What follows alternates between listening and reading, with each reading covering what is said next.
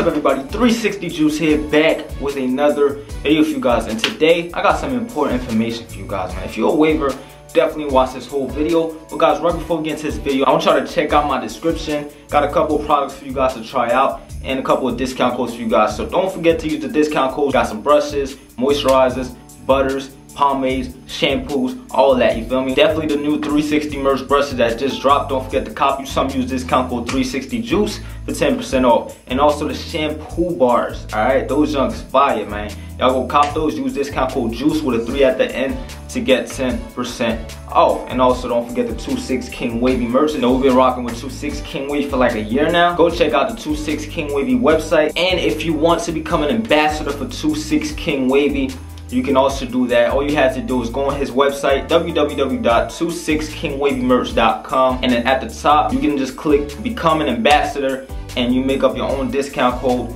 and then you just, you know, promote that link and you get paid. It's another stream of income just in case we go back in quarantine. You know how to make money from home. But guys, without further ado, let's get right into this video. me rapping. They know that I'm never lacking. You ain't never gotta ask me. I'ma do what I gotta do for the fam. I'ma make it happen. Was on the way out, but I'm backing. Need a new bank account with the cash in it. Eh?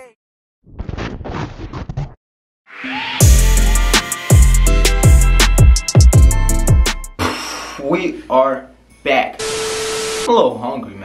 What time is it? It's one o'clock. You hungry? That reminds me. If you're from the New Jersey area and you're hungry like I am right now, I want you guys to go check out Chef Simius Instagram. All right, and leave a follow for him. If you, you know, if you feel a little hungry and you are in New Jersey, I repeat, if you are in New Jersey, let me rep in New Jersey, Jersey, you feel and you want to move for some Caribbean food, stop by Chef Simius Restaurant in Elizabeth, New Jersey. 17 Broad Street, Elizabeth, New Jersey, 07201. He does Seafood Wednesdays, Caribbean Thursdays from 4 p.m. to 12 a.m. If y'all want more information, just go check his Instagram out. And if you guys don't feel like going out to a restaurant and you want him to come to your house to, you know, your own personal chef, he does that too. His booking info, this is his booking info right here. He's a private chef at your service, okay? Private chef at your service. I've tried his food and it is thebomb.com. If you guys are looking for a private chef, you're looking for some Caribbean food and stuff like that, you feel me, go check out Chef Simius. I'm gonna have his Instagram link down in the description below. Y'all go check him out right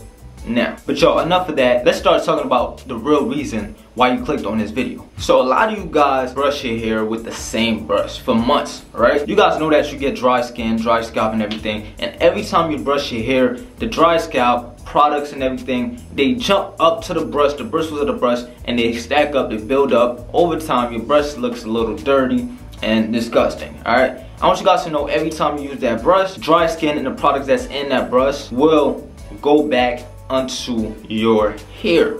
You didn't know that, did you? So that's why sometimes when you wash your hair, you do a wash and style, your hair squeaky clean, and then you put in a brush session and your hair seems to be flaking up, but you just washed it. No, it's not coming from your hair, it's coming from the brush. So today I'm gonna show you guys how to wash your brush properly. Yeah, something that you need to do. If you haven't been washing your brushes, you need to do them, okay? All right, so this brush right here is my wash and style brush, so it's always clean because, you know, I wash my hair with it, so there's nothing wrong with it. It's clean. It's an all-white 2-6 King Wavy medium brush and I just use it for my wash and style. Now on the other hand, this blue Torino brush right here is freaking dirty and disgusting. Alright, so this brush I'm going to use as an example for this video. I'm gonna wash this brush and show you guys the before and after and how to properly wash your brushes. Basically, washing your brushes is just like washing your hair. You have to first wet it, put shampoo multiple times because the first time is rinsing out the dirt and the products and everything, all the flakes and stuff.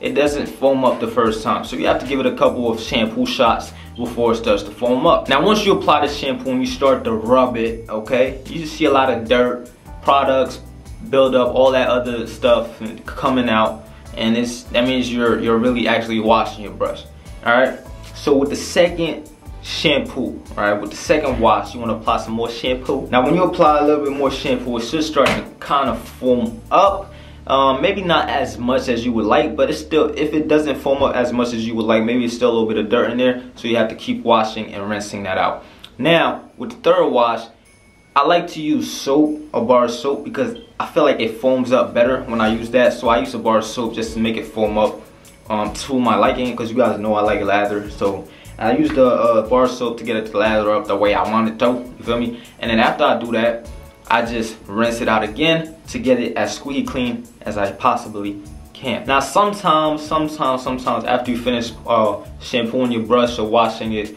there might be a little bit of a uh, little bit of hairs stuck in there so you could use your comb to just take those little bits of hair out. I don't really care about the the hairs being left behind. I just want the the flake to get out of the brush and all the product buildup. That's what i really care about. But um the hairs they don't really bother me so but for this video's sake i'm gonna just take the comb and just comb the hairs out and just take all those loose hairs take them out. Now, just to make sure the brush is clean, I'm gonna go in with one more round of soap just to get some, some more lather and make sure that everything is squeaky clean. And after I do that, of course, I rinse it and this is the final product, okay?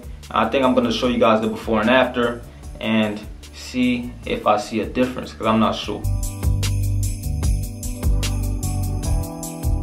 Alright you guys, so this is how I wash my brush. This is how you should wash your brush. Maybe you use a different method, I'm not sure. I wash my brushes once every two weeks because you know it doesn't it doesn't really get dirty as quick as your hair does. Alright, but yeah, I just wash, wash my brush twice a month, once every two weeks, you feel me? Yeah, if you didn't know that you had to wash your brush, now you know, okay? Don't be dirty. Wash your brushes, alright? And also wash your do-rags. But yeah, that's all for this video. Hope you guys learned something new, that you have to wash your brushes, okay? If you don't wash your brushes, all you're doing is putting all that dirt from the brush into your hair that you just washed. If you just did a wash and style and, br and brushing your hair with a dirty brush, what was the point? Alright, thank you guys for watching this video. If you guys enjoyed, please make sure to leave a like, comment. If you're new to the channel, don't forget to smash that subscribe button for your boy. And if you wonder what video to watch next, it's gonna be up here, okay? Click it, watch it, pay attention, take notes, and I will see you guys in my next video. Peace.